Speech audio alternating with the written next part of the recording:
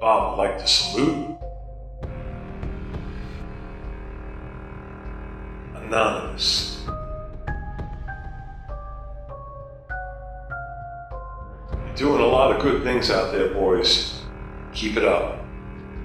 You're kind of on the fucking scary side, you know?